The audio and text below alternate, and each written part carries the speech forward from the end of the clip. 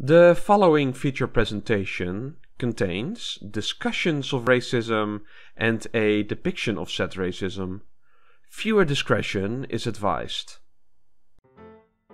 Hello and welcome to Kitty Treats, the show where I cannot remember what the original premise of this show was, so I tend to make stuff up for the intro. This video will be an expansion on a blog post I made recently. So, if you have not read this post yet, then I highly recommend that you do so, link in the description. Because this video will probably make no sense unless you know what Sinterklaas is and what the racism of this tradition entails. Because this is a highly specific Dutch subject, I will be creating Dutch subtitles for this video. Something I am probably gonna regret when I finally get to edit this video later on. Anyway, in general, I like to keep this kind of stuff on my blog, since it's a lot easier for me to talk about subjects like this in a text format. However, I feel that this subject needs an addendum. You see, I also like to come up with solutions to problems. Not an easy task, I know, but I always found that an analysis that only identifies the issues with something is a bit incomplete. So today I want to make a proposal for a potential solution regarding Zwarte Piet. Now obviously Zwarte Piet needs to go. The thing is racist as hell and should have been yeeted out of Dutch society a long time ago. There have been some minor changes in this regard, in the form of color Piets and suit Piets, but honestly I am not a big fan of them. They keep the racist clothing and the general racist aesthetic of Piet remains intact. Activist groups like Kick Out Zwarte Piet seem to agree with me on this one, since they still demonstrate at these e events even when they are color Piets or suit Piets. So Piet needs to go, but the good old Sint, or Saint Nicholas, still needs a helper or assistant. Now luckily for us is the solution plain and simple. You see, the Netherlands and Flanders aren't the only places where they celebrate Sinterklaas. It's also celebrated in parts of Germany, Switzerland, Austria and the Czech Republic. And most of them have an entirely different tradition in this regard.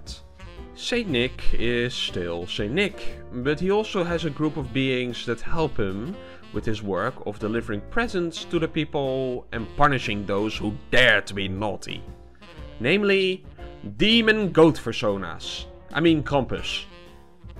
So Krampus fulfills a bit of a different role as opposed to Piet. You see, Krampus isn't concerned with giving candy and presents to people, but rather he punishes the wicked with coal and beats them with his bundle of twigs. Now, Zwarte Piet used to have this aspect as well, but this got slowly toned down throughout the 20th century, probably because beating children became less acceptable. While I don't think that a modern Krampus should beat children, I think that a combination of his frightening visage and the gift-giving aspect could be combined to give him a dual role in this regard. It can teach children not to judge a book by its cover. Plus, I think that Krampus looks cool as heck. Now, I can already hear you think. Wait a minute, Pim. Are you trying to sneak ancient, pagan, pre-Christian traditions into my wholesome Christian festi festivity? And the answer to that would be yes. Yes I am. I know that there are Christians in the Netherlands that object to having quote unquote heathen elements in their festivities. But honestly, their objections don't really concern me, since if they really cared about this kind of stuff, then they would not celebrate Christmas in December or drag a tree into their house every winter. You think Joseph and Mary had a fucking pine tree in their little stable when Jesus was born? Yeah, I thought not. Christianity and its many sects has all, have always adopted local pre-Christian elements to blend in better with the local population, and this has given a rise to a large variety of syncretic festivities. Krampus is not different from something like Halloween in this regard. Speaking of which, the Dutch Reformed Church has fought really hard to keep Halloween out of the Netherlands because of its perceived heathen elements, and I hate them for it, because I fucking love Halloween, and I prefer it over basically every Dutch festivity. If we ever somehow manage to introduce Krampus into the Netherlands, then I suspect them to complain about this as well. Another thing you could say would be, isn't Krampus a bit frightening for kids? And to that I would say, eh, maybe. I feel that many people often overestimate the ability of kids to be frightened of something. Most kids, especially nowadays, are more likely to find him to be a cool figure as opposed to be scared of him. I suppose it is kind of comparable to Halloween in this regard.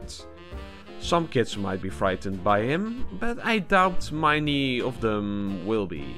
Besides, it cannot be worse than those goddamn parade cards you see with Carnival over here. In conclusion, I think that replacing Pete with Krampus would honestly be the best option.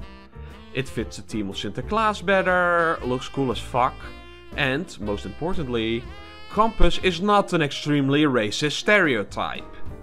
Plus, you know, I could finally live out my dream by dressing as a pagan demon and scaring the fuck out of people. Either way, whatever the future will bring us, I thank you all for watching or listening to my admittedly very short kitty treats.